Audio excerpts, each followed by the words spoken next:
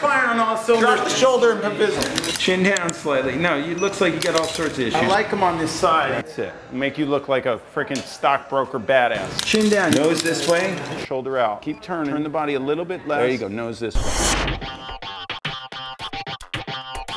James, the reason why I show everybody everything is so that they Get learn. the lights closer to I would bring all this into here. The catch lights, I could see what you're kind of doing. She's smoking. How cool is that, guys? That's pretty cool. Remember, right? something in between the ears. Don't put too much good stuff in this thing, Pete. we don't want to show people, you know, the goods. The best thing that I learned for the intensive would be how to how to in the top of You're giving them good stuff. Oh, well. That's too much. Let me put this down right now. My work is not about a white background. What it is about is, I don't say that to clients, that freak them out. Nose towards the light. Which word didn't you understand?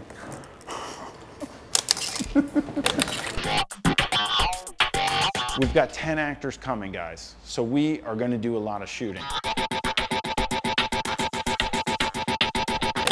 the way he handles his clients and the way he manipulates them to get that perfect shot is just unreal. It was pretty crazy. I mean, I got so many shots. There's all these beautiful people and different people, and they were all different ranges from being really scared in front of the camera to, to being normal in front of the camera. And it was awesome.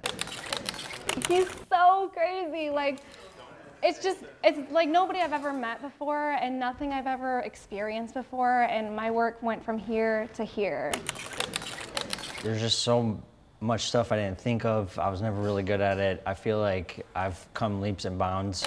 He brings the best out of you. Like really, he will look at your work and and tell you what you need to improve on.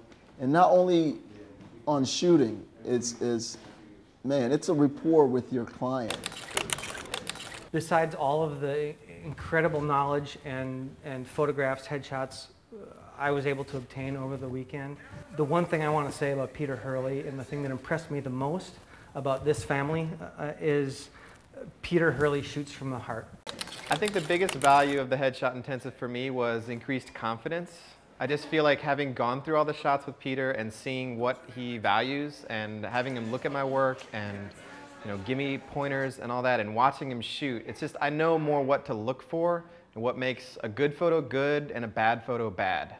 I'm the one everybody's chasing because I stuck to my guns. I mean, I really feel like you guys don't know how much I went through with people not liking the white background and the horizontal and the chopped off heads and everything, and I stuck with it. And now I say to them, how could I be considered the best at this in the country if it doesn't work? Obviously, it works. But every actor that we shoot wants to be famous or a celebrity or have a flourishing career where they can make a life out of this entertainment industry then they got to look cool in their pictures. Look at me when I'm talking to you. If you're looking in the camera, you're too, you care too much about each time I, do you think I care how many pictures I take of you?